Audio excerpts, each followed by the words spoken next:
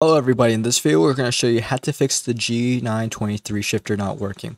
So first thing you want to do is find the power cycle and reconnect attachment. So turn off your wheelbase, unplug its power, and then the USB cables along with the shifter's um, essential quick connect lead. So then just wait 10 seconds and then plug the power adapter in and then reconnect the USB and shifter cable and then power back on, right? And then from there, verify controller status and axis response, and then open settings, Bluetooth and devices and device and printers, and then right click the Logitech G923, select the gamer controller settings and properties, and then cycle through each gear, right? And then confirm the Z axis indicator moves with each uh, shift.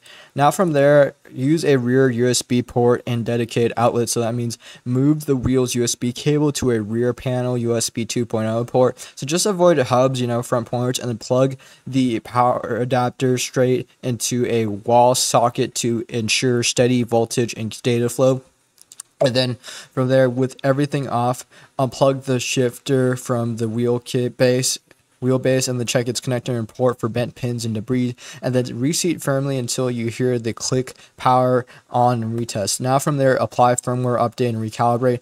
Open Logitech's G Hub, select your G9 G923 profile and then click firmware update prompted, then run calibrate wheel, follow the left, center, right prompts, then resync the shifter, then cross test and check game settings. So hook the shifter up to another PC or console to confirm hardware function. If it works anywhere else, just revisit your uh, main system's USB power management, enable manual shifting mode, and your game's controller options. So yeah, thanks for watching this video. Like, subscribe for more content like this, and